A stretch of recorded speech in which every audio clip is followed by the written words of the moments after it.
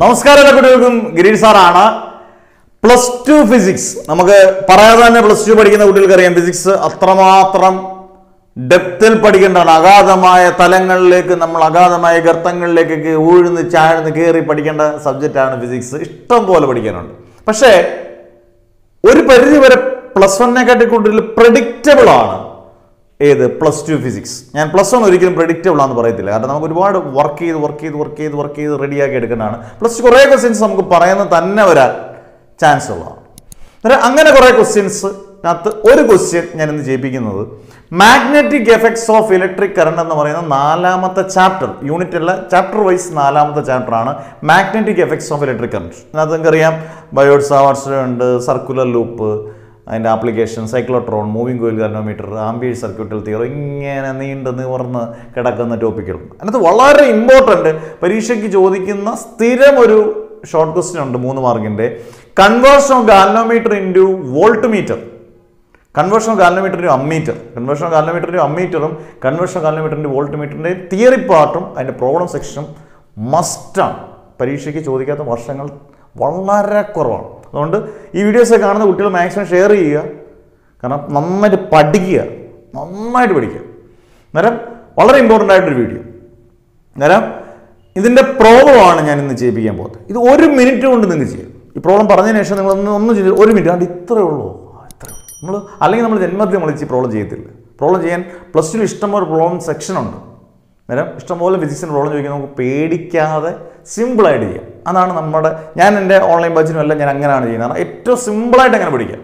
അങ്ങനെയാണ്. വലിയ സംഭവം എന്ന് പറയുന്നതൊന്നും വലിയ സംഭവം അല്ല. നമ്മളതെങ്ങനെ വൃത്തിയായിട്ട് പഠിക്കുന്നു എങ്ങനെ പഠിപ്പിക്കുന്നു അത് നിങ്ങളിലോട്ട് കയറി കഴിഞ്ഞാൽ ഒരു ഒരു അട്രാക്ഷൻ പോലാണ്. അത് നമ്മളങ്ങ് പഠിക്കും. മാഗ്നറ്റ് പോലെ അങ്ങ് കയറിപ്പോവും. ഓക്കെ എന്നിട്ട് നമുക്ക് ക്വസ്റ്റ്യൻ നോക്കാം. A galvanometer will has a resistance of ഞാൻ ക്വസ്റ്റ്യൻ ആദ്യം ജസ്റ്റ് ഒന്ന് ഓടിച്ചു പോകും resistance ohm and the meter shows full scale deflection for a current of three milliampere how will you convert this meter into voltmeter of range zero to eighteen volt ഞാൻ എന്റെ theory part പറയുന്നില്ല. Conversion കാലമീറ്ററിന്റെ volt meter ആണ് എന്റെ theory part എന്റെ problem ആണ് ചെയ്യാൻ പോകുന്നത്. അന്നേരം നമുക്ക് ആദ്യം തന്നിരിക്കുന്ന ലെറ്റേഴ്സ് എല്ലാം നല്ല വൃത്തിയായിട്ട് എഴുതണം. A galvanometer will has a resistance of twelve ohm ഗാൽനോമീറ്ററിന്റെ റെസിസ്റ്റൻസിന്റെ ലെറ്റർ ജി തന്നെയാണ്. ജി എന്ന് പറയുന്നത് ട്വൽവ് ഓം ആണ്. റെസിസ്റ്റൻസ് ആയതുകൊണ്ട് രണ്ട് യൂണിറ്റ് ആണ് ഓം എന്ന് പറയുന്നത്. ആൻഡ് ദി മീറ്റർ ഏത് meter galvanometer shows full scale deflection for a current of three milliampere ഗാൽനോമീറ്ററിന്റെ കറണ്ടിനെ ഞാൻ ഐ ജി എന്ന് എടുക്കുന്നു.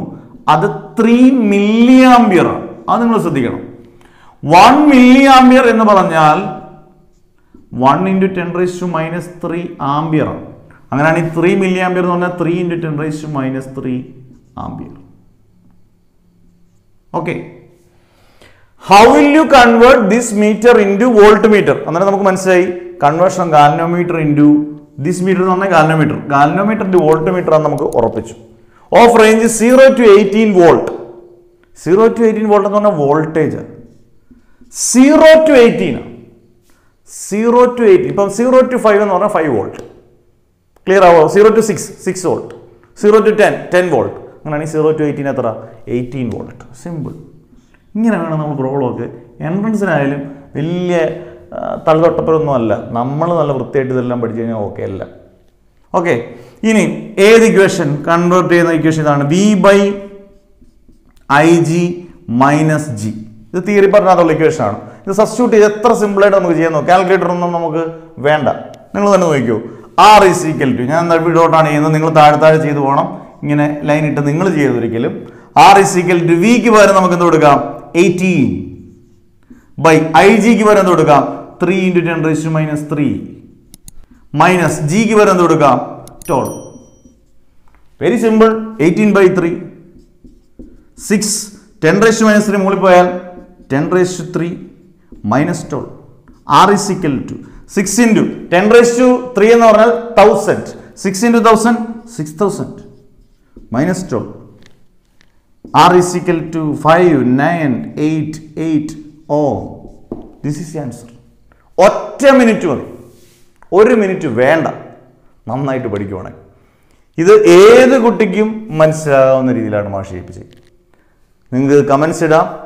കട്ട് ആൻഡ് ക്ലിയർ ആയിട്ട് അടിപൊളിയായിട്ട് നിങ്ങൾക്ക് മനസ്സിലായിട്ടുണ്ടെങ്കിൽ മനസ്സിലായി. മനസ്സിലായില്ലെങ്കിൽ മനസ്സിലായില്ല. ധൈര്യമായിട്ട് ഇടാം. നേരം ഇങ്ങനെയുള്ള പ്രോബ്ലംസൊക്കെ മസ്റ്റായിട്ടും പഠിക്കുക. Physics is very dangerous otherwise അല്ലെങ്കിൽ അത് വളരെ ഡേഞ്ചറസ് ആണ് വളരെ ഡേഞ്ചറസ് ആണ്. നമ്മളതിനെ നല്ല അരച്ച് കലക്കി നല്ല ടെൻഷൻലെസ് ആയിട്ട് പഠിച്ച് ഗംഭീരമായിട്ട് കൊണ്ടുപോകണം അന്നേരം ഗംഭീരമായിട്ട് ഇപ്പോൾ മനസ്സിലായി എന്ന് വിചാരിച്ചുകൊണ്ട് മാഷ് നിർത്തുന്നു. Never ever give up okay